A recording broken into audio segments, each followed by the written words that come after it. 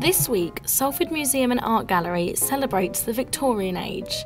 Their newly refurbished Victorian Art Gallery has recently opened, displaying extraordinary pieces of decorative art from some of the greatest Victorian artists.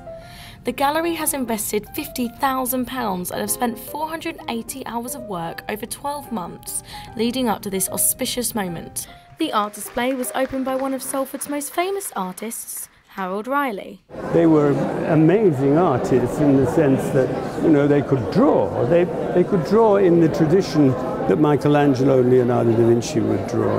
And they were really, of course, riding on the crest of the wave of affluence of Britain in the Victorian era. Some of the Victorian paintings have been restored and are now on show for the first time in 20 years, creating a resurgence of Renaissance spirit across Salford. Salford Art Gallery is now exhibiting art from the era in which it was built. It was opened in 1851 by Queen Victoria and Prince Albert and it is now home to some of the finest Victorian paintings in the whole of the Northwest and arguably England.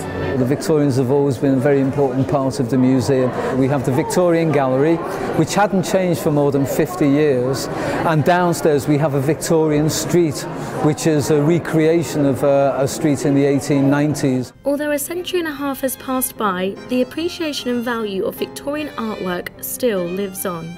This is Carlie Foster for Quays TV News.